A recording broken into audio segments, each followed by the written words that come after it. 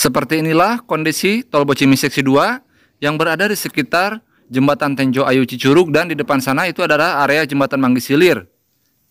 Serta ini adalah uh, mulai dilakukan pengaspalan ulang ya di sekitar jalur alternatif Tenjo Ayu Cicurug. Dan arah ke depan sana menuju arah Sukabumi dan terlihat di sini banyak sekali tumpukan full slab ya, yang akan dipasangkan di area jembatan Manggis Hilir. Terlihat aktivitas di sekitar area jembatan Manggis Hilir, Desa Benda, Kecamatan Cicurug, Kabupaten Sukabumi.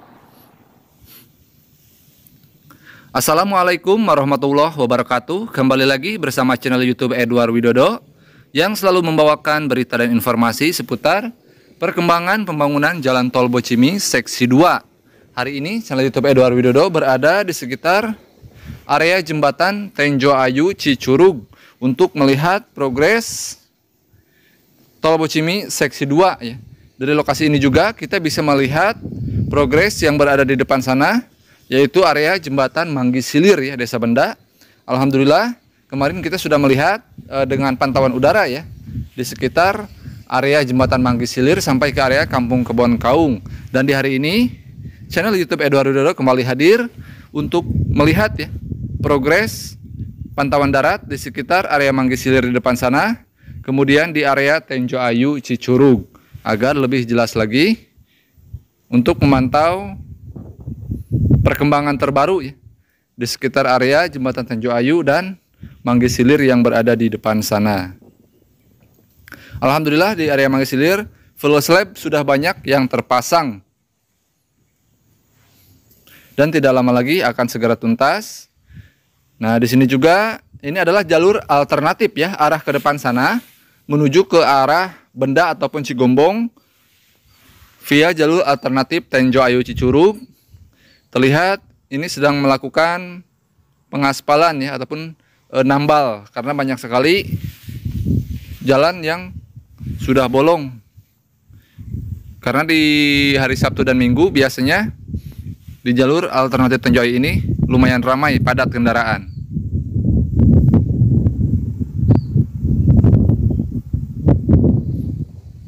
Dan hari ini angin lumayan kencang ya.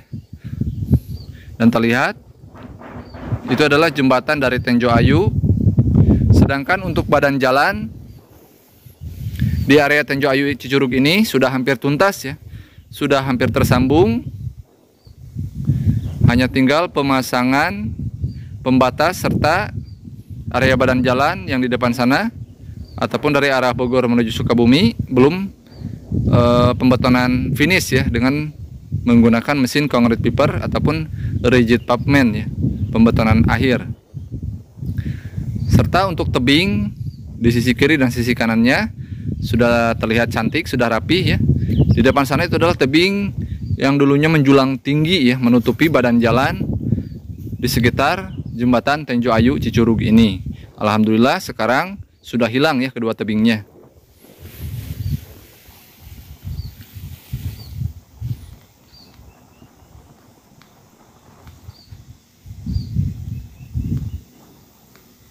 Nah di depan sana itu adalah area dari jembatan Tenjo Ayu ya. Jadi ketika kita berdiri di atas jembatan Tenjo Ayu, arah ke sebelah kiri kita bisa melihat progres di sekitar Kampung Kebon Kaung, Desa Nangerang, Kecamatan Cicurug.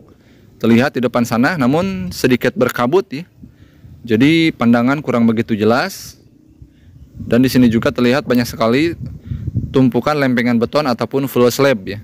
Untuk di area Kampung Kebon Kaung, badan jalan sudah mulai dilakukan uh, pembetonan. Sudah tersambung ya dari area ini sampai ke ujung jembatan Cisesepan pembetonan sudah tersambung. Terlihat yang berwarna putih dan di sebelah kanan tepatnya dari arah Bogor menuju ke arah Sukabumi masih terus dilakukan perkerasan badan jalan ya dengan penaburan batu agregat. Terlihat di bawah sana ada satu eskavator ya dan juga mesin concrete piper untuk melakukan pembetonan akhir. Seperti inilah update terbaru di sekitar area Tenjo Ayu Cicurug.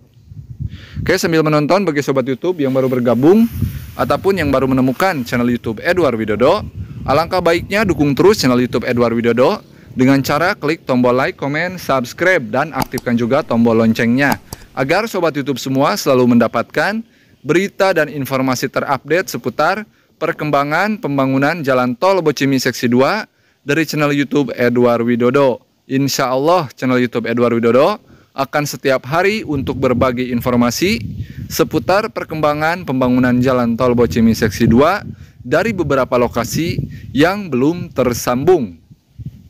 Untuk di area Kampung Kebon Kaung, Alhamdulillah sudah tersambung ya. Jadi titik pertama yang belum tersambung berada di sekitar jembatan ataupun lembah Manggis Hilir, Desa Benda. Dan arah ke depan sana menuju ke arah Cicurug ya. Jalur alternatif Tenjo Ayu dari arah Bogor menuju ke arah Cicurug ke depan sana.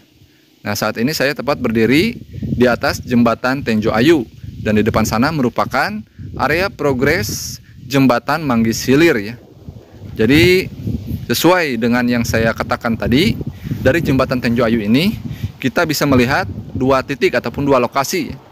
Nah ini lokasi yang yang sedang kita saksikan saat ini merupakan area progres jembatan ya Manggis Hilir yang berada di Desa Benda, Kecamatan Cicurug, Kabupaten Sukabumi. Untuk e, pemasangan full slab sudah ada dua titik ya. Pertama dekat eskavator yang berwarna kuning ini dan tepat di bawah JPO Kampung Manggis ya. Dan dari JPO Kampung Manggis ke arah depan sana itu tidak jauh. Merupakan area progres awal ya tol Bocimi seksi 2 tepat berada di bawah jembatan MN Silen Lido.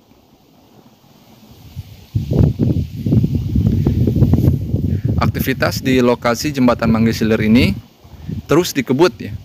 Dan jika cuaca bersahabat, menurut informasi yang saya dapat, di area tersebut e, lembur ya kerjanya sampai malam. Kita doakan semoga pembangunan di sekitar area proyek Tol Bocimi Seksi 2 ini bisa berjalan dengan lancar, sesuai yang diharapkan, sesuai yang direncanakan agar jalan tol Bocimi sisi 2 ini dapat dilewati pada libur Natal dan Tahun Baru. Dan ada informasi lagi dari beberapa narasumber ya yang tidak bisa saya sebutkan namanya bahwa benar pada tanggal 20 eh, Desember jalan tol Bocimi sisi 2 ini uh, direncanakan akan mulai diuji coba ya. Kita doakan mudah-mudahan semuanya berjalan dengan lancar dan prediksi uh, saya pribadi ya sebagai orang awam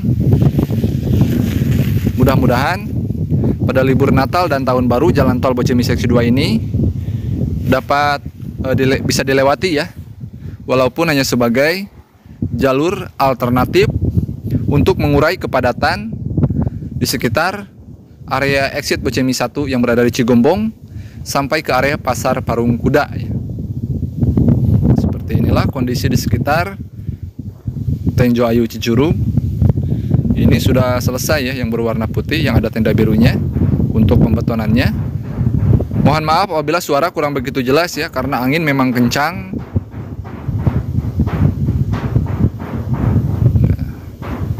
Ini arah ke depan sana ke arah Sukabumi ya. Dan terlihat area dari Kebon Kaung Cicurug.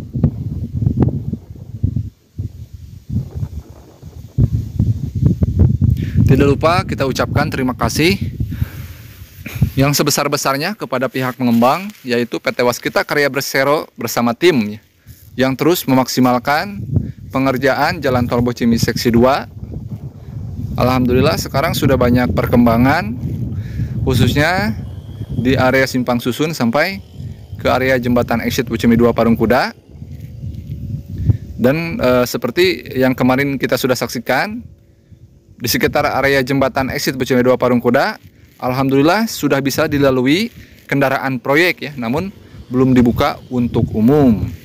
Karena uji cobanya juga sekitar tanggal 20 jadi hanya tinggal beberapa hari lagi. Mudah-mudahan semua pengerjaannya dilancarkan ya. serta para pekerjanya selalu diberikan kesehatan, keselamatan. Seperti inilah pantauan darat. Ya. Terlihat eh, dua petugas ya sedang mengontrol area proyek yang berada di Tenjo Ayu Cicurug. Jadi buat rekan-rekan yang sering bermacet-macetan, alhamdulillah tidak lama lagi akan bisa terbebas ya. Kemacetan di sekitar area Cicurug. Namun nanti ketika keluar di sekitar exit Bocimi 2 Parungkuda masih ada satu titik kemacetan ya yaitu pasar Cibadak namun banyak sekali jalan alternatif mudah-mudahan nanti juga langsung berlanjut ke progres tol Bocimi seksi 3 dan 4 ya jadi dari arah Ciawi bisa bablas langsung ke Sukabumi kita doakan saja semoga semua pembangunan infrastruktur yang berada di Kabupaten Sukabumi bisa berjalan dengan lancar ya. Dan ada juga info rencana pembangunan jalan tol Cibadak Pelabuhan Ratu. Namun sampai hari ini belum ada update terbaru ya. Jadi saya belum bisa menginfokan kabar terbaru pembangunan jalan tol Cibadak Pelabuhan Ratu mudah-mudahan cepat terrealisasi karena banyak sekali ya eh, rekan-rekan dari luar Sukabumi yang sering berkunjung terutamanya ke area Geopark Ciletuh maupun ke area pantai Pelabuhan Ratu. Nah, seperti ini ya. Kondisi dinding penahan tanah yang dulunya sebuah tebing yang menutupi badan jalan. Alhamdulillah sekarang sudah rata ya. Tidak ada lagi proses pengerukan tanah. Hanya tinggal di satu titik lagi yang berada di depan sana, yaitu area jembatan Manggis Silir. Mungkin tidak lama lagi akan segera tersambung nih dari area benda menuju ke area Tenjo Ayu ini. Dan terlihat di bawah sana ada satu truk mixer ya, yang akan melakukan pembetonan di sekitar jembatan Manggisilir ini. Sudah ada duhur ya. Ini saya sekitar jam setengah 12 mengambil gambarnya. Jadi hanya tinggal di titik ini ya. Yang belum tersambung ataupun memang pengerjaannya yang terus digencot ya. Untuk e, beberapa area lainnya, Alhamdulillah seperti di sekitar area jembatan Purwasari Cicurug sudah mulai dilakukan pembetonan ya sela-sela full slab atau penampengan betonnya serta sudah tersambung ya dari badan jalan ke area jembatan Alhamdulillah sudah tersambung jadi untuk titik yang masih berat sepertinya berada di lokasi jembatan Manggis Silir ini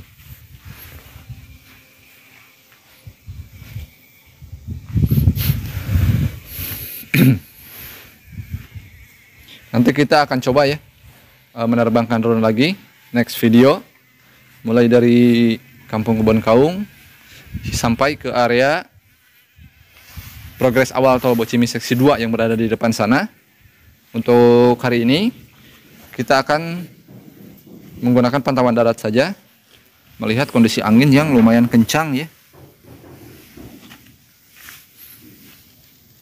Oke, mungkin saya cukupkan sampai di sini dulu untuk berita dan informasi seputar perkembangan pembangunan jalan tol Bocimi seksi 2. Mohon maaf apabila masih banyak sekali kekurangan di dalam penyampaian maupun pengambilan gambar.